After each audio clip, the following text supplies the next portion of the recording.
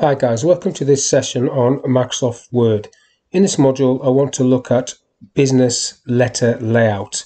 So on the screen I've got some block information where you should put your details when you're writing a business letter. So top right you can see there you've got your information, your address and the date. On the left it's going to be their information. Then sometimes you have a title, It depends how your company does it. Sometimes there's a title there, so it should say read something read job applicant. Then you are going to say, Dear Sir or Madam, or Dear Surname, Dear Mr. Jones. Then you have an opening paragraph, main body, and a closing paragraph, and then you sign it off with yours sincerely. So this is basically what I want to have a quick look at. So if I just get myself a new document, and this is going to be introducing a few features in Word. One of the things that's um, been an issue for me over the years is the way people put their address on the right hand side of the paper. The worst case scenario would be for somebody to start pressing the spacebar to get across to the right. If I put show hide on, you can see that that's putting loads of dots there, basically, character spaces. So get rid of that. That is not a good way of doing it. Another way would be to press the tab key and tab yourself across there and then start typing your address. That is is acceptable, but it's um, not great. Now, the other way people do it is they click on right align and they start typing their address like Mr. S. Saxton and I see this so much on the internet lots of examples of this and it is so so wrong because what you've done here you have got the text on the right hand side of the screen but you've got it left um, not left aligned you've got it right aligned so you can see it's coming in there if I take the show hide off just make my screen a little bit bigger it's coming in from the right margin correct, but it's it's not left aligned. This should be straight down this line there. So the way to do that is not by any of those I've just said, is by using an indent. So here is the indent marker. There's lots of different ways of getting indent across at the 10. I'm going to go for the 10 centimeters, maybe 11 centimeter mark. If I select the bottom rectangle, it says left indent when I point to it. I can pull that across to 11 I'll just type some random text there so you can see that it will go to the end and then wrap round but everything is left aligned even though it's on the right side of the screen nice and neat and if you insert a word it just keeps wrapping round and stays over there um, if I just delete all that off and put my proper address in there. So take it across to 10 in fact before, rather than dragging it you can also use these two buttons. So that one increases the indent. So one two three all the way across. It jumps at 1.27 so it's not exactly going to 10 and it won't go to 11 if I click it one more. So that is not as accurate as me just put it on there there. But if I went into the paragraph area you've got the option there of setting an indent at an exact position. But to be fair if you can get yourself trained up so you can grab the thing you have to be careful because if you move too far up you get the bottom triangle um, which splits this off. And then your top triangle which represents the first line is not in sync. So you have to be quite careful to get the rectangle and position it where you want it to be. And then you can type your your address so if I just type mine very quickly no it's not my name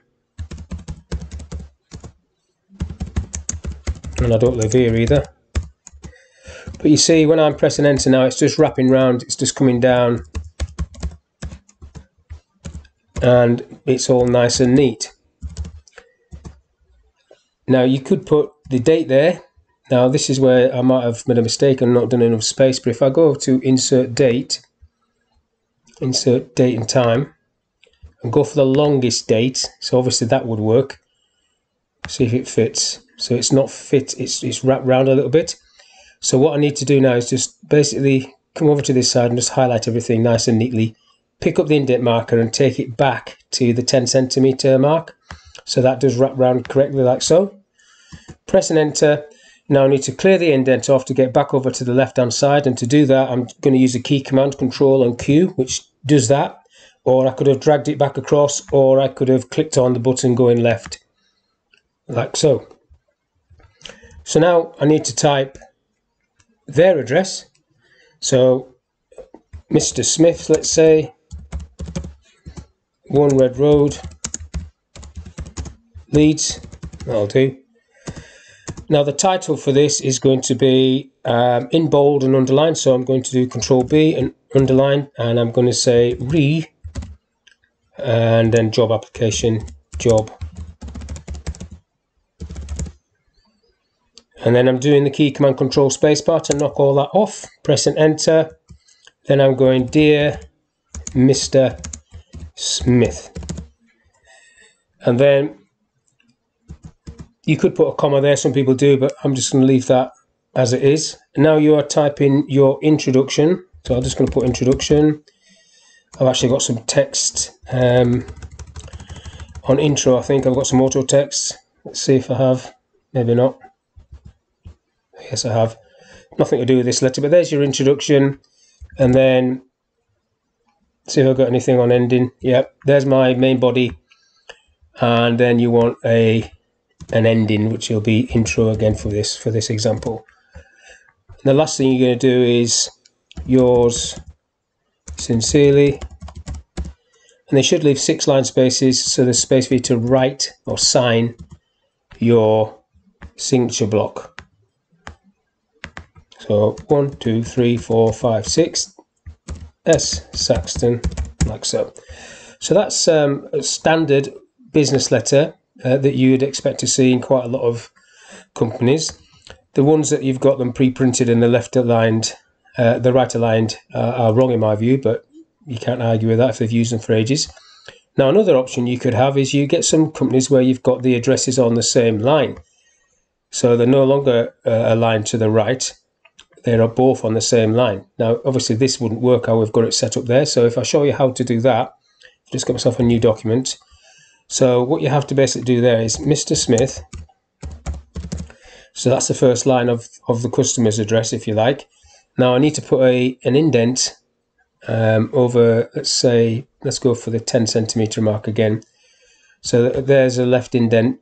I want a left indent, so I'm just going to put it onto the 10 centimeters, and then I can tab, which will jump to that, and then I can put my name, Mr. S. Saxton, and so on. And when I press enter, it goes back over to Mr. Smith. So I go one red road and I just press my tab key again. One, two, three, Belden Lane. And you can see how this works. So you basically are doing the, doing these two addresses in tandem. I'll just do this to Bradford and then you get the idea. Needs a capital. Now it went to capital before because it was the first line. So when if I come down one more address, and let's say that's it finished, what I should then do is pull that indent off so I don't pull that indent all the way through this document, otherwise it would be through the document. Another way I could have done that is I could have gone insert table, just done um, a two, two lines like so, and hidden the borders, so no border, but you can, on this one as well, no border wrong one, no border. So these don't print out. I've just got the, um, on the layout tab, you can put guides on, view grid lines. So I've put those on so you can see them. And then you'd basically just put your addresses in these two boxes and they would be on the opposite sides of the paper. So, so in terms of this, you might need to move that to the right. I just did um, control R there, which is we're going to be back to the same situation we had with the indent. So what you can do with tables is you can actually create an indent inside a table, which is what I would have to do over there. Otherwise, I don't achieve what I'm trying to achieve, which is the same as what's above. So I will put an indent on, backspace that off a minute, and just set that indent across at 11. So when I start typing in there, it should just wrap around at 11 like so but whatever you're doing you try to keep this nice and neat like that. So that's just a couple of examples of how you set up um, letter letter layouts in Word. So I hope you've enjoyed that and I'll see you on the next one